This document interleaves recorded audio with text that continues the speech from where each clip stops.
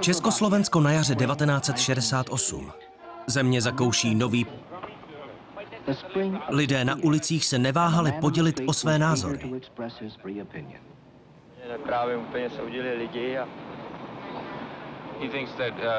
Myslí, že se mnohé změnilo k lepšímu po té, co Novotný odstoupil. Byl to velmi špatný člověk. Věří v to zkrátka. Když je zklamou, tak už potom těžko bude něco znovu. Říká, že většina lidí v reformy věří a byli by velmi zklamaní, kdyby se původní sliby nesplnily. Nový vítr, no. Říká, že to, co se v Československu po 20 letech děje, je správné. Je to čerstvý vítr. Mezi lidmi vládnou úplně nové vztahy. Vy jste mezi mladými oblíbený. Jak podle vás vnímají současné politické změny? Yeah, as a singer, I, I meet many, many young people, and I feel new atmosphere of hope and optimism. Uvítali by změnu? Chtěli byste vidět nějaký změny tady v Československu? Já jich mám zatím dost.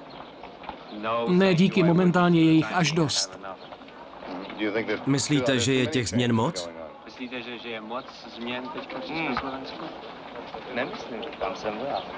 I don't Já nemyslím, jsem voják. Máte stejný názor? Vy taky, vy taky nemyslíte? Samozřejmě, že ne. Of course not. Říká samozřejmě, že mám stejný názor. Would you prefer to have things the way they were? Chtěli byste raději, aby, aby situace byla tak, jak bývala? Já na tom celkem uh, Já se o to nezajímám. Do politiky se nepletu. Nepíšu, do politiky se uh, nepletu.